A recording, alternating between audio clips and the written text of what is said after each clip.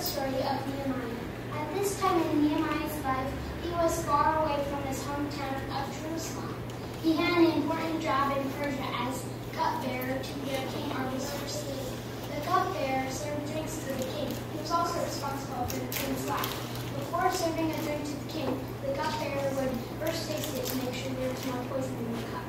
One day, Nehemiah asked one of his friends about his hometown of Jerusalem.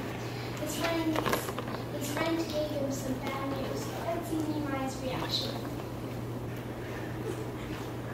The walls around the city are broken down, and the people there are very upset. This news makes me so sad. I just want to cry and cry some more. Well, what do you want to do? Nehemiah stayed sad for a long time. The king asked him what was wrong. Why is your face like that? The wall around the hometown of my family is destroyed, and the gates there are burned with fire. Well, what do you want to do?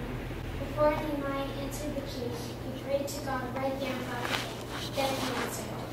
I ask that you send me to the city my father's chose, that I may rebuild it.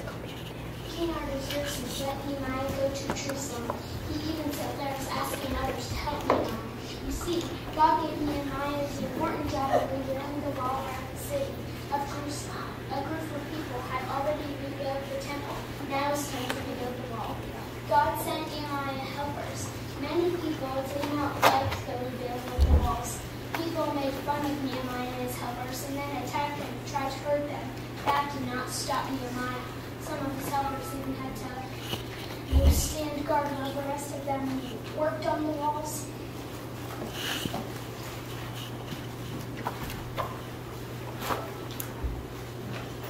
Thank you so much for coming to help.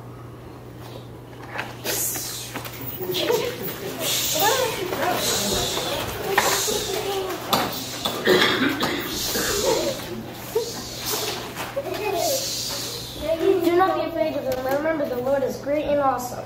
God did take care